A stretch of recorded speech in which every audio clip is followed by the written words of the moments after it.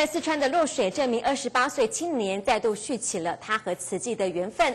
罗辉是汶川大地震的受灾户，在当时慈济设立的热食服务站，他就自愿来帮忙，直到服务站撤离，他才离开了家乡，到北京找工作。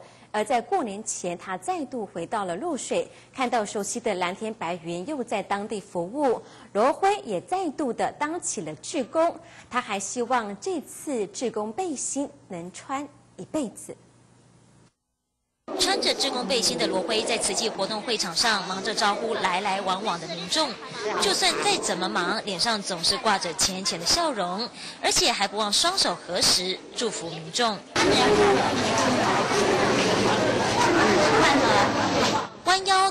头，这是罗辉在慈济人身上学到的。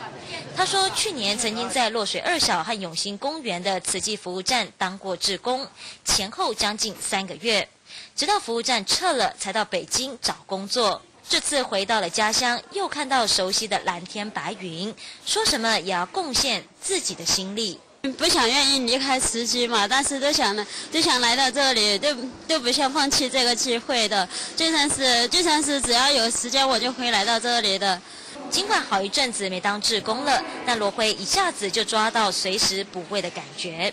正当志工们在前头忙着办活动，后头的厨房相机缺了人手，罗辉就马上到厨房帮忙。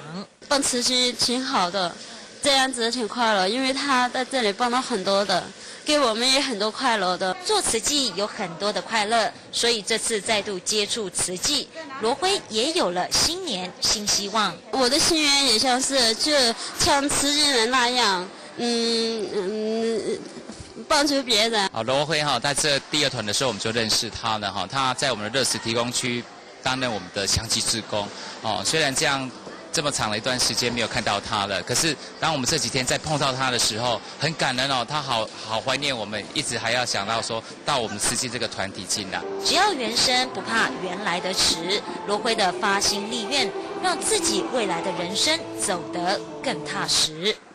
肖世婷、欧阳光辉，四川落水报道。